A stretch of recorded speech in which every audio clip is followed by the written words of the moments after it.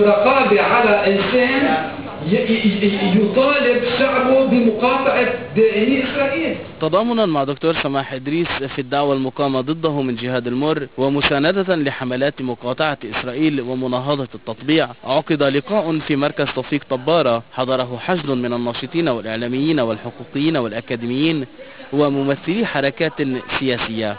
وكان المر قد تقدم بدعوة يطالب فيها إدريس بتعويض مادي عن خسائر لحقته في حفل لفرقة بلاسيبو أقيم في بيروت العام الماضي بداعي أن حملات المقاطعة التي دعت إلى مقاطعة الحفل لمواقف الفرقة الداعمة لإسرائيل أثرت على الحضور ما سبب له خسائر مادية.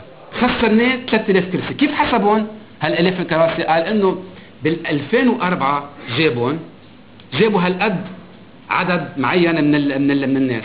بال 2010 اجوا قلب 3000 حط الحق على مين؟ علينا. ممتاز. هيدا اللي بدنا إياه.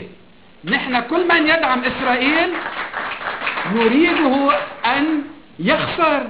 يعني هيدا كل أساس الرجون ده سبب وجود حملات المقاطعة هي ضرب الأساس الاقتصادي فضلا عن المعنوي لا لا لا هذا اللي بدنا إياه عال. يعني بدنا نعرف الجهة اللي المسؤولة الأمنية المسؤولة اللي أعطت تأشيرات دخول لفرقة من هالنوع للبنان.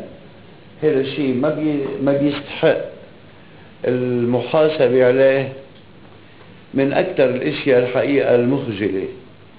إنه بهذا البلد الخيانة بموقع الهجوم والوطنية بموقع الدفاع.